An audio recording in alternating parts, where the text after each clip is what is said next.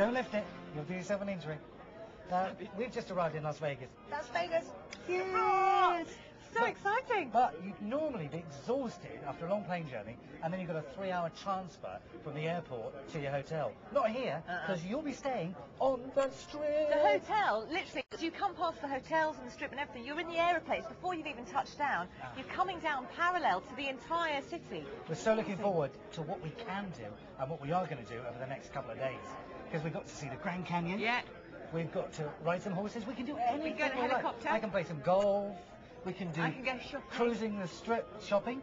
Yeah. Did you say shopping? I did say shopping. There is amazing shopping here. So here we are at the Venetian, far more than I ever expected. I have shopped till I have dropped, just more than I Yeah, ever but, yeah, but shopping all over the world. Venice.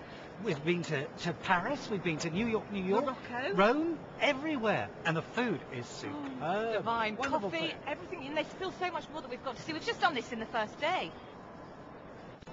See the tumbling down, wedging their lives to the ground.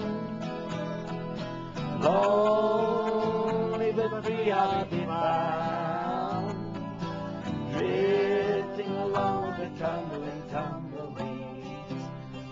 Eh, bellissimo! Who would have thought that here we are in Vegas? I, this looks like Venice. But it isn't. It's right here on the strip. The strip is just there. If you could just go around the corner, you get to Paris. Yeah. And New York's just up there. And Morocco. Treasure Island. Ha ha. Treasure Island. Just across the way. Quite amazing. It's so much There's more than I expected it to be. So much more. But I have to say, the shopping experience was just not up to scratch. Shopping, shopping, shopping. This girl knows everything about shopping. How many shops did you go into? I can't. I can't tell you. I've lost count. I need about 16 more suitcases to go home with. Of course, I mean, we're talking about all these things, but of course they're not just what Vegas is all about. There's still the strip where you've got to be seen. Yeah. There are so many bars. The food There's is ah, amazing. Oh, food. But the best Oh. bit, well, the, the bit that I'm really looking forward to is the Grand Canyon. You can get on a helicopter oh, literally on the side of the strip Canyon. and go over to the Grand Canyon. Well, people say it's the one thing you've got to see before you die.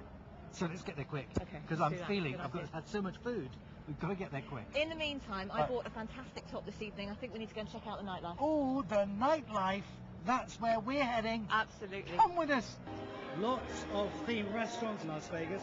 We're standing outside one of those, Coyote Ugly, and Danielle works there. Danielle, what do you do and what's Coyote Ugly all about? I'm a bartender there, and it's the best place in Las Vegas to get wild and crazy and party with beautiful women.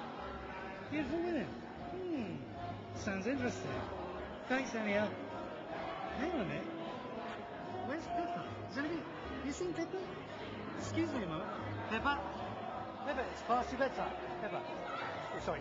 No, I'm, I'm looking for Pepper. Know she's supposed to be here?